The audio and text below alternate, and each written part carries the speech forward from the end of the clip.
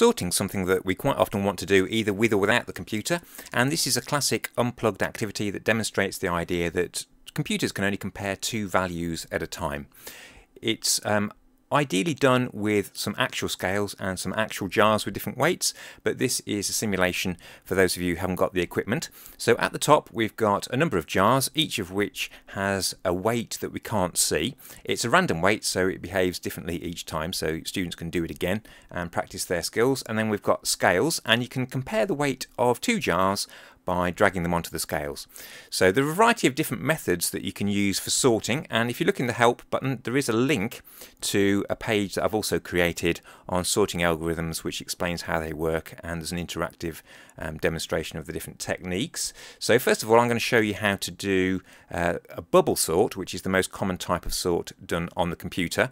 Um, in each pass through the jars it bubbles the well in this case the heaviest jar up to the end. So after each pass we'll know which is the heaviest of the remaining jars and we can put them in the right order at the bottom of the screen. So a computer will always go left to right um, or go through in the same order certainly um, but it doesn't matter which way we go uh, when we're doing it manually. So first of all I'll compare jar A and B and we can see that uh, B is the heavier there. So what I'm going to do is I'm going to move that along and I'm going to compare B with C and C is heavier. So I'm going to keep that one and I'm going to compare that with D. And now D is the heaviest we've found so far. So because we're keeping the heaviest one on then effectively what we're doing throughout is we're keeping the heaviest one and when we get to the end we'll know which is the heaviest one so far. So what we do is we just press the uh, replace the top one with the next jar in the sequence.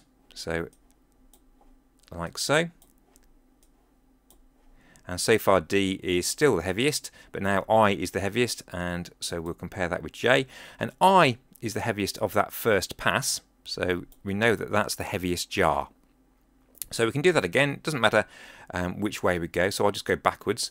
So I'll repeat that process. So swapping the lightest jar with the next one in the sequence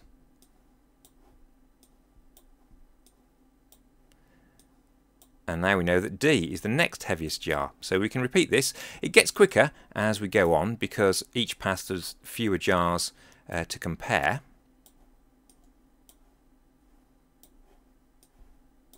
So now that G is the next heaviest, and then so H,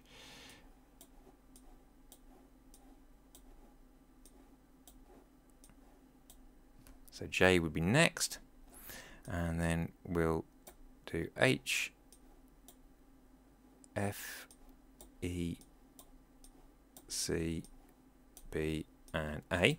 So it doesn't matter which way you go as long as you're systematic and you make sure you compare all of the jars. So, um, okay, H, F, E, E, B, and A.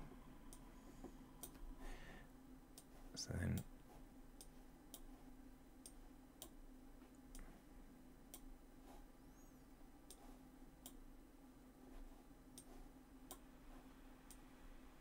And then we've only got two left. Obviously, we can put them both on the scales, and we see that B is heaviest, and A it must be the lightest. When you've done it all, depending on the browser, um, some browsers behave differently. It should show you the weights, but I'm using Chrome here because it's the only one that gives me the right amount of zoom to fit everything onto the uh, screen.